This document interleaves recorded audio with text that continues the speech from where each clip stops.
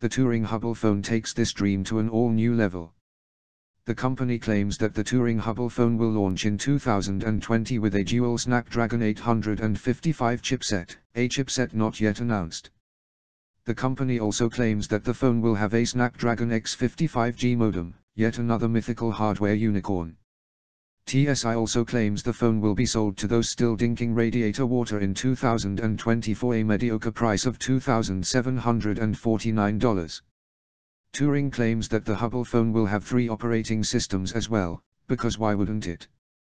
The first will be Android P, apparently still the latest in 2020, and Turing Keplerian OS which will be in the top part of the phone. The lower part or main deck will get a combination of the two OS in the top deck but also Sailfish 3 OS.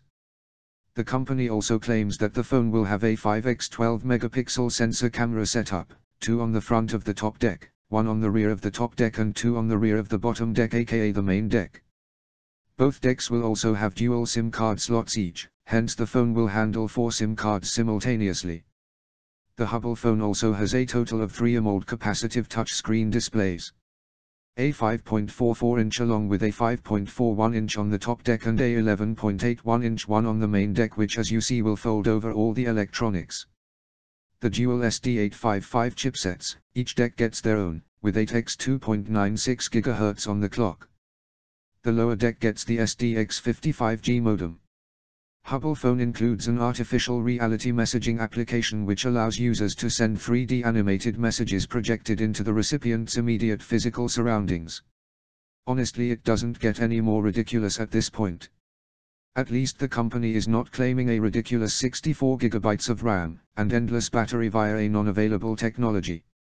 Since they already claimed those with the Cadenza and the Chaconne. The Hubble phone will have a paltry 8 GB of RAM in each deck with 256 GB for each deck too. The battery will be a seemingly doable 2800 mAh in the upper deck and 3300 mAh in the main deck.